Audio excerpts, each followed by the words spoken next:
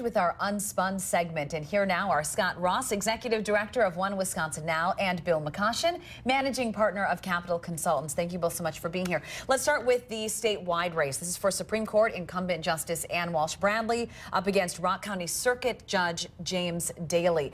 Uh, this is a nonpartisan race. Certainly hasn't seemed like it. Yeah, I mean, I, I think we've never seen uh, somebody so cling to a political party as James Daley did with the Republicans this time. It's very interesting. It's an interesting, interesting strategy. Um, I think his attacking Dane County in a way that politicians usually don't do in a statewide race is also interesting. But, you know, it's going to be a low turnout race, so anything can happen. We'll see, you know, where, where the votes come. Yeah, ultimately, ultimately, a race like that is about the incumbent. If you're the challenger, you got to make it about the incumbent. I'm not sure uh, Judge Daley did all he needed to do to win. We'll see, I guess, in a few hours. Yes. Uh, but as Scott said, it's going to come down to turnout. And if they ID'd their voters and turned them out today on what's a dark, dreary day, and most people are still sad about the Badger loss last night, you know, anything can happen. Can you speak to the turnout and knowing that there are people right now who might be watching about why it's so important for people to take the time?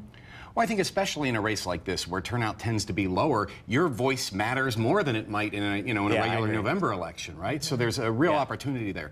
But again, what we see is in Wisconsin, we have the second highest turnout in presidential elections in the country and the second biggest drop off in non-presidential elections. So people should get out there and vote. Well, it's part of your duty. And if you, my, my uh, saying is if you don't vote, you can't complain, right? So, I mean, th these are the people that serve in very important positions, particularly the Supreme Court, deals with things like Act 10 and voter ID. And if uh, you care about those issues, then James Daley's probably your candidate. Let's also talk about the constitutional amendment referendum. This is also statewide. Uh, this is basically saying how the justices will choose the chief justice. Right now, it goes based on seniority. They're wanting to uh, get rid of that, people who are in support of this referendum.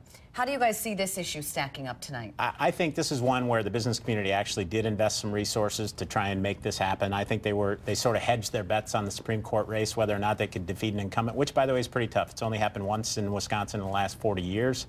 Um, so the business community made a big investment on this, and the, the, hope, of course, is to get Shirley Abrahamson out from being the Chief uh, Justice of the Wisconsin Supreme Court.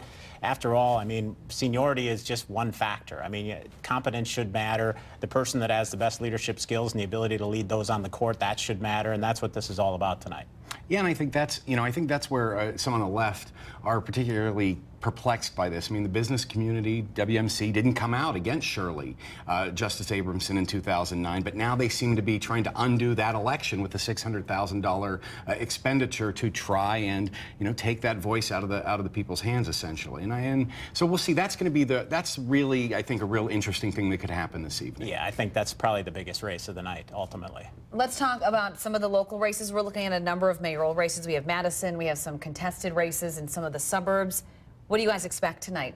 Locally? Well, we got three contested ones. One here in Madison. Uh, the expectation, I think, is that incumbent Mayor Paul Soglin will be reelected. We got uh, incumbent Mayor Shawn Pfaff in the race of his life in Fitchburg, and then uh, the incumbent in Sun Prairie has already been defeated in the primary. So, I mean, those are the top three mayoral races in the area, and uh, you know, I think as it relates to Fitchburg and Sun Prairie, anything can happen. As it relates to Madison, I expect the incumbent to win tonight. Do you agree with that expectation? I think he's got, you know, I mean, I, I think that uh, Resnick had an uphill challenge, you know, going against a name that everybody knows here, been on the ballot like, you know, how many times, times, right? You know, eighth term, I since I was in yeah. fourth grade. so I think he had an uphill battle, but you know, you always got to take your hat off for people who who run for office and who take that shot. You know, who knows what will happen? And again, in a low turnout election, anything can happen. Scott, Bill, thank you both so much. Stay with us for your election coverage. Scott and Bill will be back at 10 to analyze the election results as they come in. We'll be right back.